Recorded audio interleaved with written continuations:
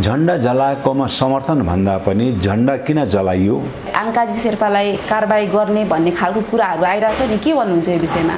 जहाँसम्म छायाङ्कनमा दृश्यहरूको कुरा छ हामीले चाहिँ फिल्म निर्माण गर्दाखेरि कहिलेकाहीँ पुलिसको थानामा बम पड्काएको पुलिसलाई मारेको दृश्य पनि त छायाङ्कन हुन्छ हुँदैन। अब जसरी ग्याल्जेन तामाङ लगायत उहाँको समूहलाई अहिले नियन्त्रणमा लिएको छ होइन? उहाँहरूको अहिले अवस्था कस्तो के छ? उसले प्रस्तुत गरेका विषयहरूमा होइन? आपत्ति जन जन जनाउनु पर्ने मैले कुरा के पनि देख्दिनँ। त्यो अभिव्यक्तिप्रति मेरो पनि समर्थन हुँदैन। त्यो भनेको खस छेत्रीलाई यहाँबाट लखेट्नुपर्छ काट्नुपर्छ भन्ने। नमस्ते दर्शकवृन्द रिदम अनलाइन टिभीमा यहाँहरू सम्पूर्णलाई हार्दिक स्वागत छ। आज भोलि निकै नै सामाजिक सञ्जालमा तात्तिएको विषय रहेको छ। झन्डा जलाएको एउटा म्युजिक भिडियोको विषयलाई लिएर र यो विषयमा धेरैजनाले आफ्नो किसिमले टिका टिप्पणी गरिरहेका छन्। कतिले यसलाई सपोर्ट गरेका छन् भने कतिले विरोध पनि गरिरहेका छन्।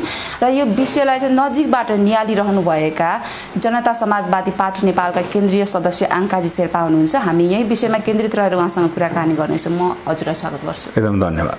हजुर। अब झन्डा जलाएको विषयप्रति यहाँले जसरी विभिन्न मिडियाहरूमा अ, अभिव्यक्ति दिनुभएको छ त्यो अभिव्यक्तिलाई हेर्ने हो भने तपाईँले त्यो झन्डा जलाएको कुरालाई पूर्ण रूपमा समर्थन गर्नुभएको छ भन्ने कुरामा हामी सबैजना स्पष्ट हुन जरुरी छ होइन? झन्डा जलाएकोमा समर्थन भन्दा पनि झन्डा किन जलाइयो? र त्यो झन्डा जलाएर उसले एउटा राजनीतिक बहसको सुरुवात होस् भन्ने जुन उसको उद्देश्य छ र उसले उठाएका मुद्दाहरूप्रति मेरो नैतिक समर्थन हो। तपाईँको नैतिक समर्थन भन्ने। कुरा चाहिँ हो होइन? हजुर। अब यो विषयलाई लिएर चाहिँ अहिले के गाईगुई पनि सुनिएको छ कि तपाईँको पार्टीमा रहेका केन्द्रीय सदस्यले तपाईँको विरोध गरिरहनु भएको छ होइन?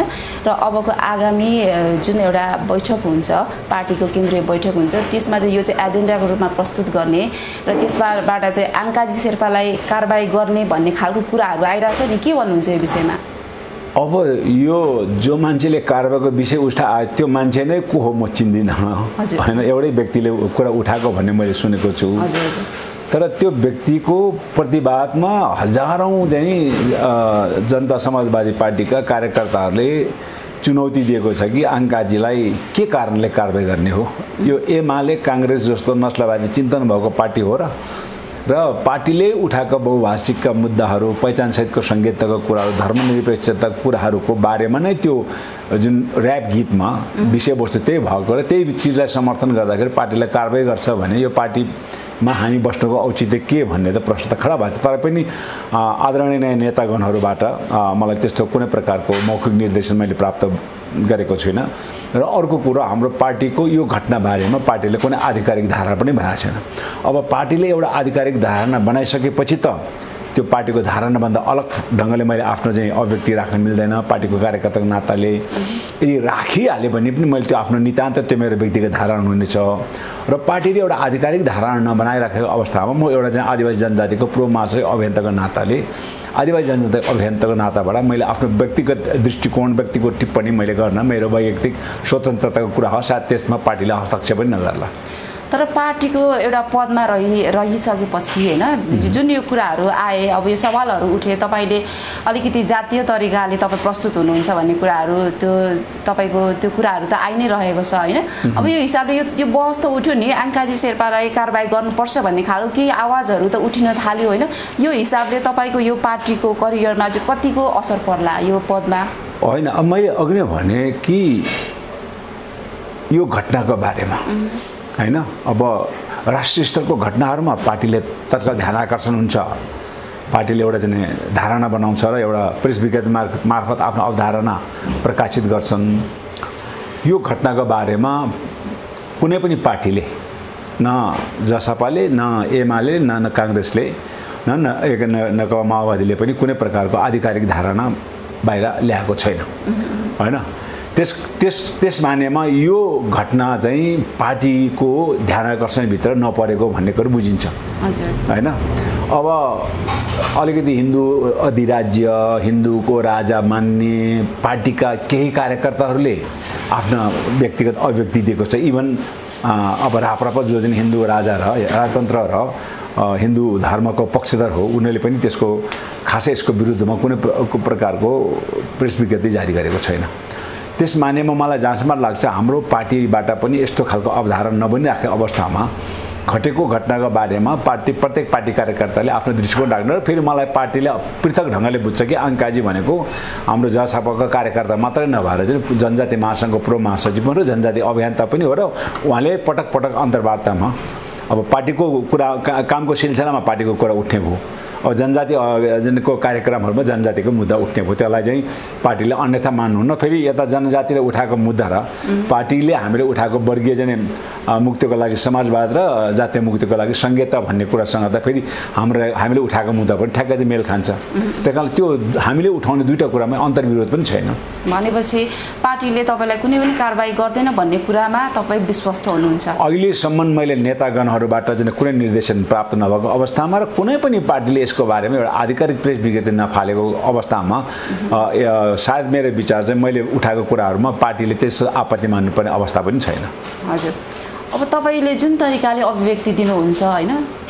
त्यो हिसाबले तपाईँलाई धेरैले देशद्रोही भन्ने खालको एउटा आरोप लगाउँछ नि। के भन्नुहुन्छ यो विषयमा अब यस्तो हो अहिले नेपालको सन्दर्भमा के हो भने कुनै घटना घटिसकेपछि त्यो घटनालाई हेर्ने दुईवटा पक्ष देखिने भयो दुईवटा ध्रुव त्यहाँ देखिने भयो। एउटा घटनालाई आलोचित गर्ने एउटा घटनालाई समर्थन गर्ने। अब अब त्यो समर्थन र विरोध गर्नेको तपाईँको चाहिँ किता पनि एक प्रकारको छ। जसले अलिकति हिन्दूवादको चाहिँ पक्षधर छन् होइन जो यो देशका चाहिँ शासक जाति समुदायहरू छन् उसले यसको चाहिँ विरोध गर्छन्।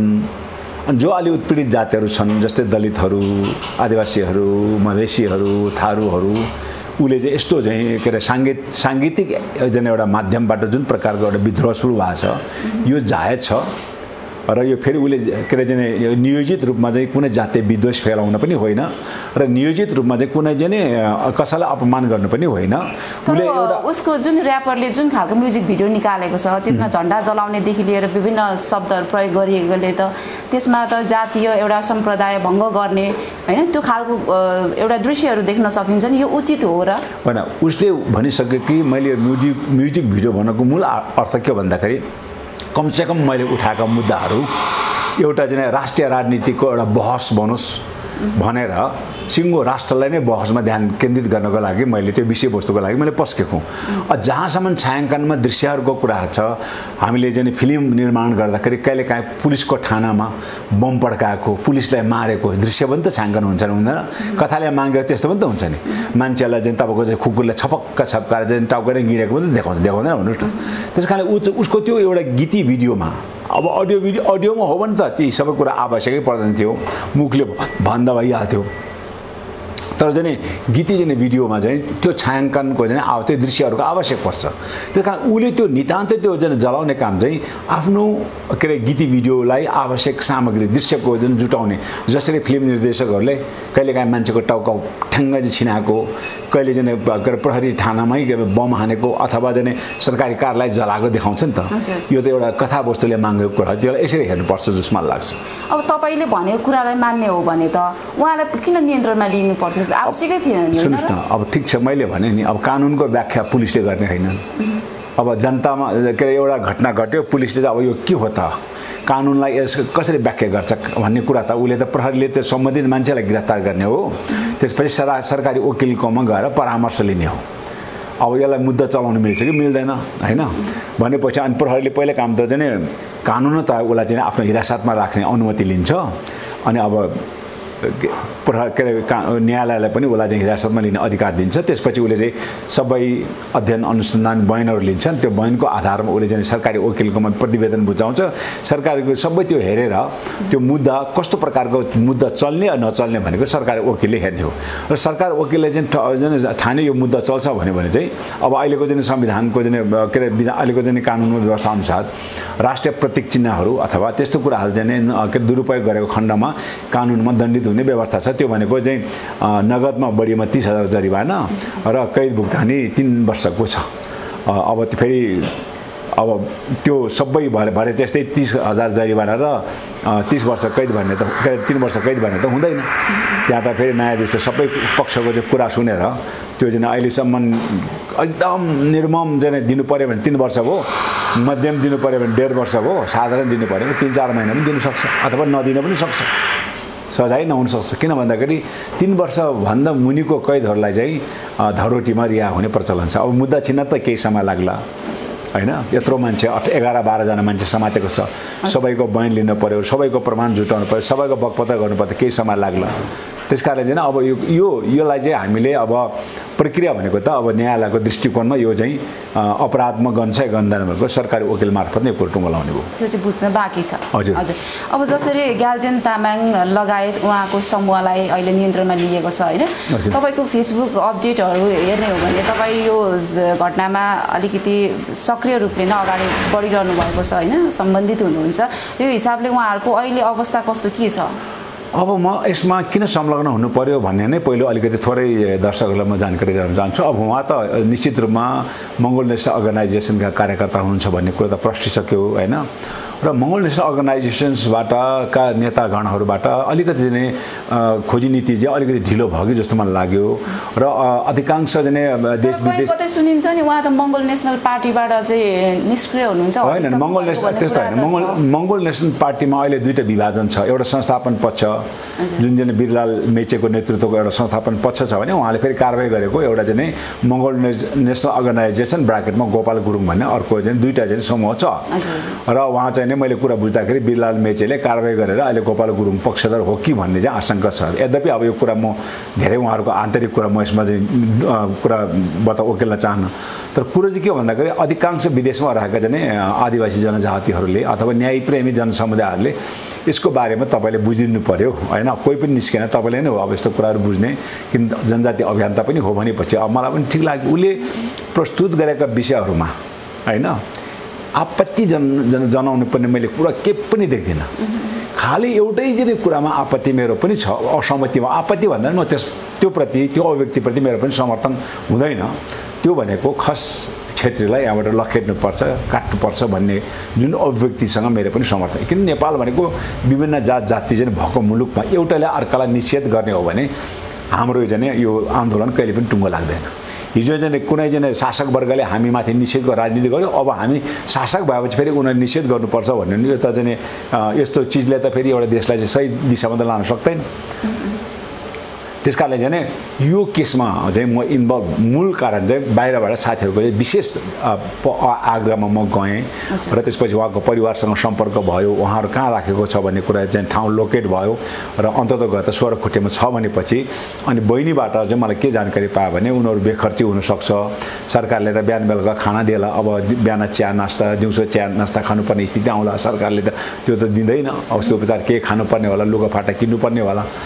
भनेपछि अनि मैले चाहिँ कमसेकम त्यति सहयोग त म गर्न सक्छु भनेर चाहिँ अनि त्यहाँ गएर थानामा गएर उहाँहरूलाई चाहिँ नि तत्काल चाहिँ पैसा छ कि छैन भन्दाखेरि अलिकति सङ्कट भएकै कुरा गर्यो खर्चको अभाव भएको कुरा गर्यो।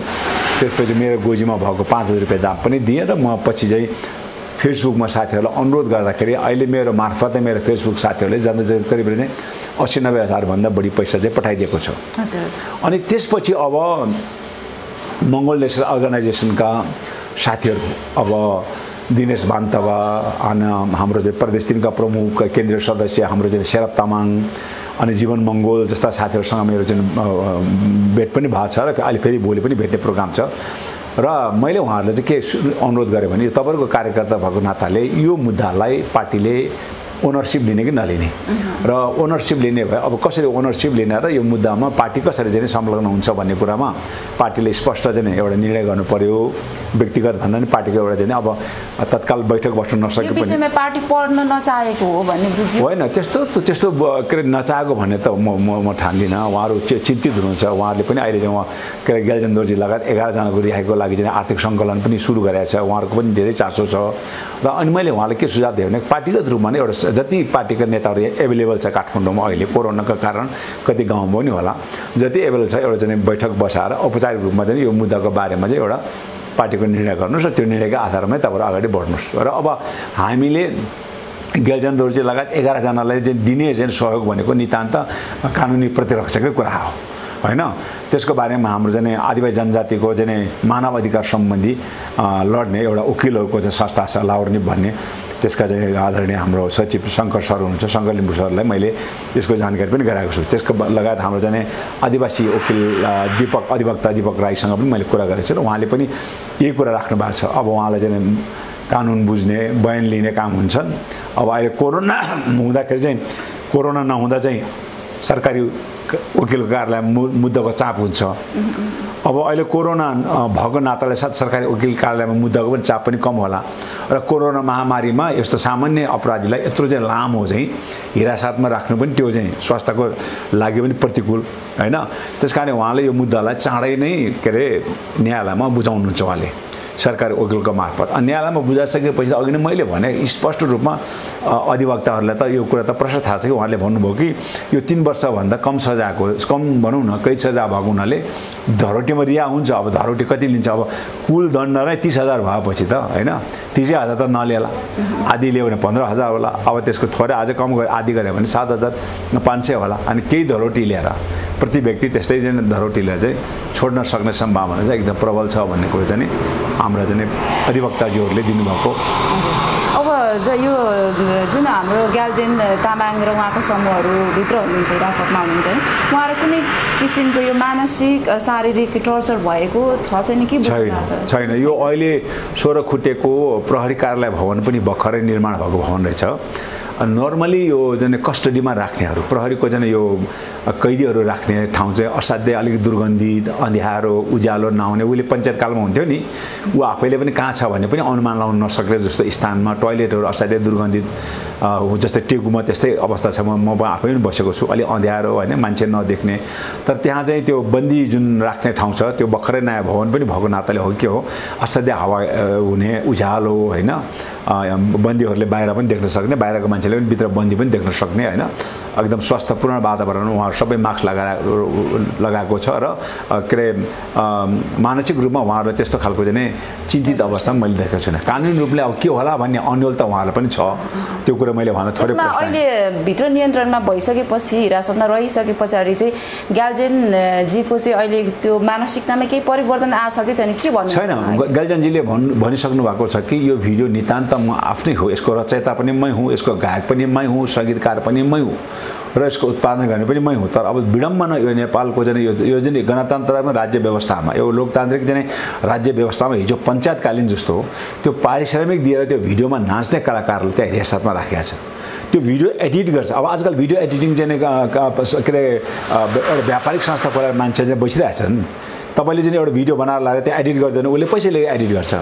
त्यो एडिटरलाई पनि त्यहाँ समातेको छ। त्यो चाहिँ भिडियो एडिटिङ चाहिँ त्यसको चाहिँ कम्पनीको साउजीलाई समातेको छ। होइन? त्यो त त्यो त ठिक भएन। होइन त्यो युट्युबर जसले चाहिँ यो गीत लोड गरेको छ उसलाई छ यो त एकदम निरङ्कुश पञ्चायती शैली भयो के? त्यही कारण मैले ठिक छ अब गेल्जे गेल्जेमाथि एउटा राज्यले एउटा आरोप लगायो। त्यो आरोप त कानुन त पुष्टि हुन त बाँकी नै छ। त्यही कारण त्यो आरोप लागेको व्यक्तिलाई प्रहरीले गिरफ्तार गरेर बयान लिनु त्यो न्यायसङ्गत छ। तर त्यो एउटा परिश्रम लिएर चाहिँ अभिनय गर्ने ती कलाकारलाई किन समात्ने? त्यो भिडियो एडिट गर्ने कम्पनीका मालिकलाई र चाहिँ एडिटरलाई किन समात्ने? अनि त्यो युट्युब युट्युब डाउनलोड गरेर अब यस्तो बेलामा के बोल्छ त यो विषयमा प्रशासनले? हजुर। के बोलिरहेछ त यो प्रशासन चाहिँ के बोलाएको छ? अब त्यो त उसले मुद्दा चाहिँ अभियोग चाहिँ पत्र दर्ता नगरिकन त प्रशासनको दावा के हो हामी बुझ्न सक्दैनौँ।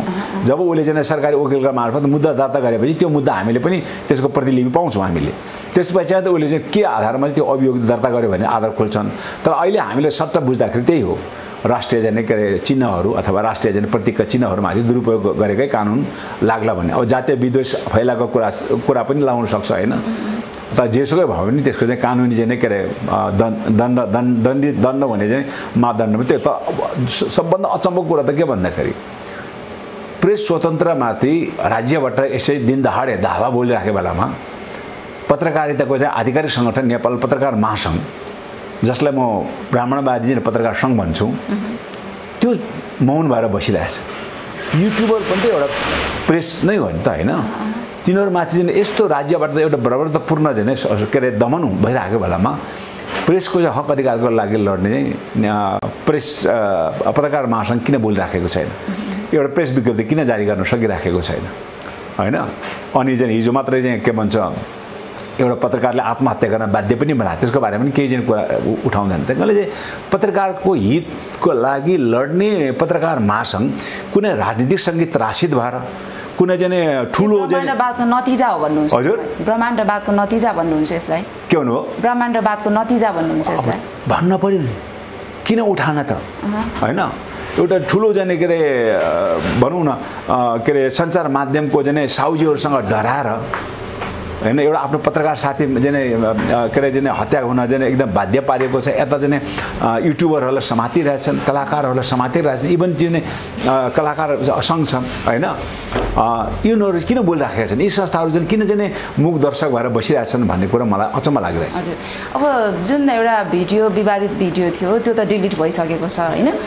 अब ग्यालजेनहरू छुट्छ भन्ने कुरामा चाहिँ कतिको विश्वास हुनुहुन्छ? यो पक्कै पनि यो तपाईँहरू जति धाए पनि जति तपाईँहरू कराए पनि विरोध गरे पनि अन्त्यमा हुने भनेको उहाँहरूलाई सजाय नै हुने होला नि त होइन? होइन मलाई जहाँसम्म लाग्छ यो के अरे प्रहरीले के अरे सरकारी वकिल कार्यालय मार्फत जिल्ला अदालतमा मुद्दा दर्ता भइसकेपछि चाहिँ पहिलो प्राथमिक चरण चाहिँ उहाँलाई हामीले धरोटीमा छुटाउन सक्छौँ भन्ने कुरामा मलाई जम्ब झन्डै झन् नब्बे प्रतिशतभन्दा पनि बढी मलाई विश्वास उहाँलाई धरोटीमा छुट्छ अनि त्यसपछि अब मुद्दाको त निकै समय लाग्न सक्छ। किनभने सबैसँग चाहिँ बयान लिन पऱ्यो बकपत्र गर्नु पऱ्यो होइन? फेरि एक एकजना होइन? एघार एघारजना अभियुक्तहरू छन्। अब होइन?